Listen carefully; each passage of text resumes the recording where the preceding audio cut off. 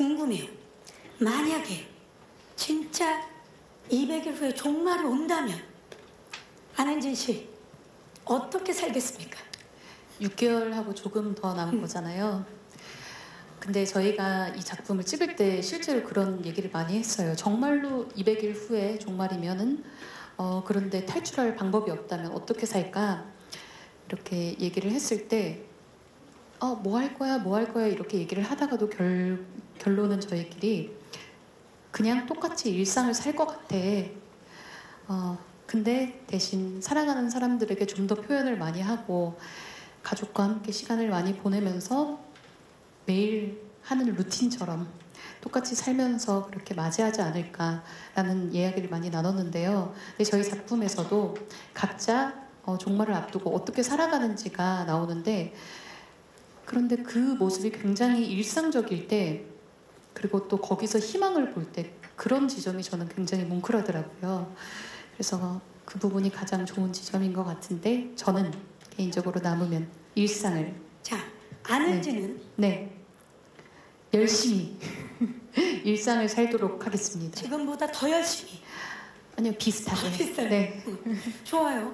자 그렇다면 우리 천성우 씨는 저도 안은진 배우가 얘기했던 대로 비슷한 생각을 가지고 있게 되더라고요. 저도 과연 나한테 단 200일이라는 시간이 남으면 어떤 생각을 하고 어떤 행동을 하게 될까 뭐 생각을 좀 해본 것 같은데 결론은 사실 그냥 그 순간을 즐기면서 하루하루를 보내지 않을까라는 생각이 들더라고요. 막연하게 당장 내일 죽을지 뭐 사실 이거는 그걸 안 되나 아무튼 좀 혼잣말이죠? 예. 혼잣말이 좀 나왔습니다. 그래, 뭔 얘기를 하려고 했지? 사실 우리가 살다 보면 우리의 운명을 모르는데 네, 그렇죠. 근데 지금은 이제 200일이라는 제한된 시간 맞아요. 그리고 사실 200일이라는 시간이 오보일 수도 있고 정말 그쵸 어, 뭐 그럴 수도 있는 상황이 있으니까 그걸 아무리 제가 어, 데뷔를 한다고 해도 제 인생이 그렇게 크게 바뀔 것 같지는 않고 그렇기 때문에 좀 그 순간순간을 더 즐겁게 재밌게 살려고 하지 않을까라고 음. 생각이 듭니다. 윤혜 씨는요? 어, 저도 사실 너무 같은 생각이긴 한데요. 저는 저도 한번 상상을 해봤을 때 굉장히 이나처럼 맞이하지 않을까라는 생각도 한편으로는 했었는데요.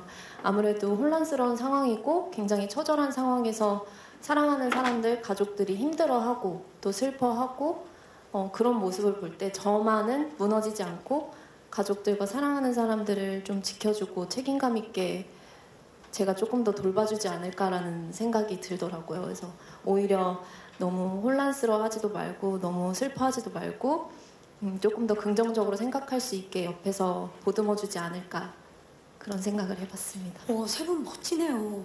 그렇다면 연출을 맡은 김진민 감독님. 200일이 남았다.